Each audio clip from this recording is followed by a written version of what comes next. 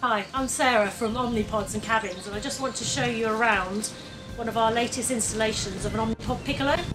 This one's located in the South Hams in South Devon. It's absolutely beautiful location.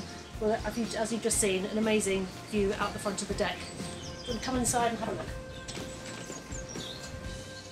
Inside, um, this is our standard Omnipod Piccolo layout that we have in Cuttery House. As you can see, the owner has decided to paint the interior here, which gives it a really nice warm feel and different to some of our other Piccolo pods. We have for the, dining area, space to sit in the evenings and our usual kitchen area here.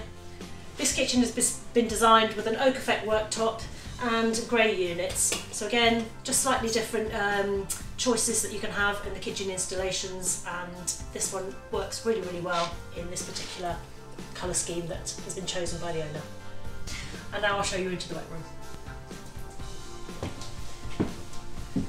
So in the wet room, we have our motion spot interiors fitted as standard um, with the removable handles the shower seat here. All of these items can be removed if a user doesn't require them.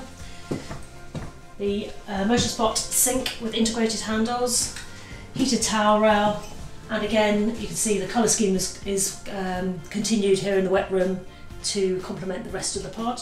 So that was a tour of the Cuttery House Omnipod, which is bookable through Airbnb. You can find the location on our website www.omnipodsandcabins.co.uk, pod locations, and there'll be a link where you can book this fantastic pod.